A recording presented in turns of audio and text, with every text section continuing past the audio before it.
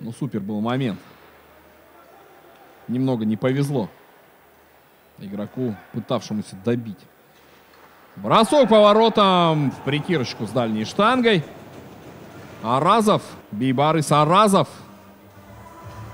Защитник забрасывает. И первое большинство реализовано.